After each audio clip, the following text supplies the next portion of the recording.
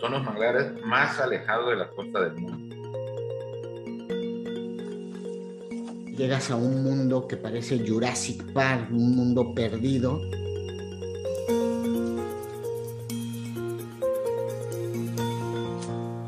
Este ecosistema que se encontró sobrevive a un periodo muchísimo más amplio de los 10.000 años.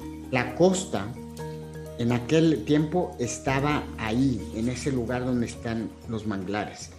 El nivel del mar, en algún momento, si seguimos perdiendo hielo en este planeta, inundará todas esas planicies.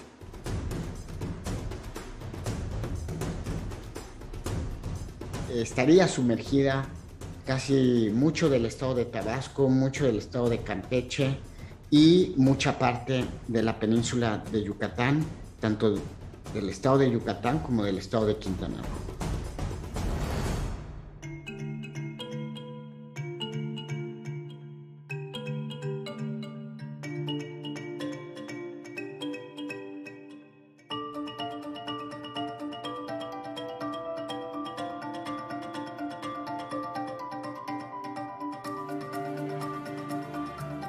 Que también nos explica que si seguimos alterando el planeta como lo hemos alterado, pues eh, este nivel del mar va a seguir subiendo.